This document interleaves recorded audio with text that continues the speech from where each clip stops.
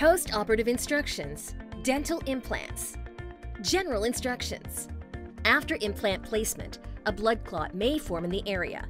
To prevent post-operative inflammation and infection, it is important to keep this blood clot in place. For the first 48 hours after implant placement, do not vigorously rinse your mouth, as this may rinse away the blood clot. Do not use drinking straws. Do not smoke. Do not disturb the implant site with the tongue or fingers. Bleeding. After implant placement, it is normal to ooze blood from the area for approximately 24 hours.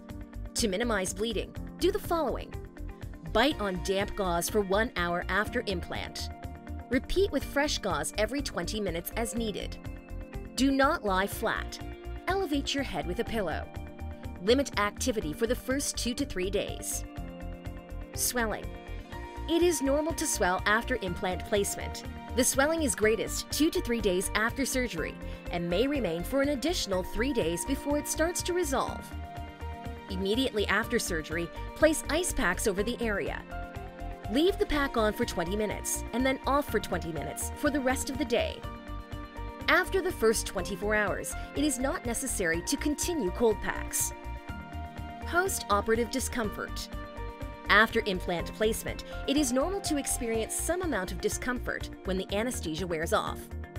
Taking prescribed medication as directed should control discomfort, but may not eliminate it. Do not operate a motor vehicle or machinery while taking pain medication. It can make you drowsy. Infection. After surgical procedures, there is always a chance that infection might develop. This does not happen in most cases. A prescription may be written for you after a procedure that has a higher incidence of post-operative infection. Take all prescribed antibiotics until finished. Women taking oral contraceptives, birth control pills, are recommended to use other methods of contraception while taking antibiotics. Penicillin and penicillin-like medications temporarily decrease effectiveness of birth control pills. Sutures. Depending on the extent of the procedure, sutures, stitches, may be placed in order to help wound healing. If you have sutures, the doctor will inform you of this after the procedure. Sutures that dissolve should fall out in about 1 to 7 days.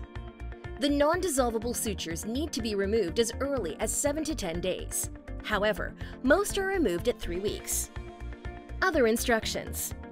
If you have had IV sedation or general anesthesia for your procedure, you should rest at home with moderate activity as tolerated.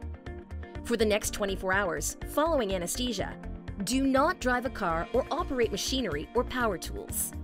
Do not drink any alcoholic beverages, including beer. Do not engage in any moderate to high intensity physical activity, e.g., running, weightlifting. Brushing.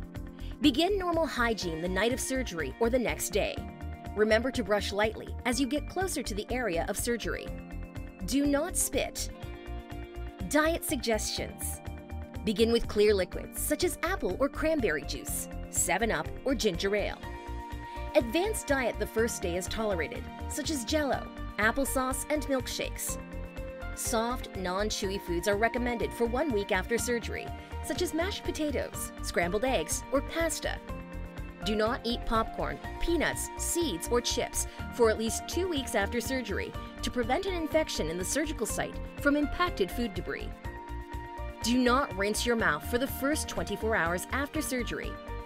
After that, rinse gently with the oral rinse if prescribed by your doctor, or with warm salt water. Half teaspoon salt dissolved in 8 ounces of warm water, 2 to 3 times a day for one week. Brush your teeth gently, but avoid the area of surgery for the first 24 hours. Warning signs. If any of the following should occur, do not hesitate to contact us during regular office hours at 702 660 5574. During the evening or night hours, call 702 660 5574 and follow the prompts. Bleeding that cannot be controlled by firmly biting on a gauze for 60 minutes. Pain which is not controlled by the prescribed dose of medication. Do not take higher doses. Persistent nausea or vomiting. An increase in swelling after the first 72 hours, or swelling that interferes with swallowing. A very foul tasting discharge that is unrelieved by normal oral hygiene. fever greater than 101 degrees Fahrenheit. Failure to follow instructions may be life threatening. It is our desire that your recovery be as smooth and pleasant as possible. Following these instructions will assist you, but please call our office if you have questions about your progress.